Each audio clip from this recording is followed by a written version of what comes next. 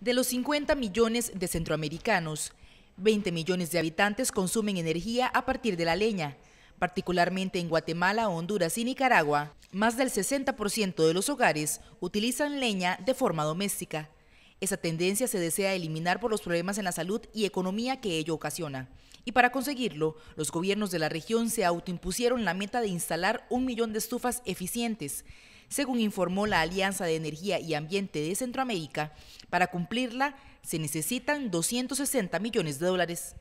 La idea es apoyar a esos países para reducir o hacer eficiente el uso de la leña y el carbón e ir contribuyendo con la reducción de la pobreza.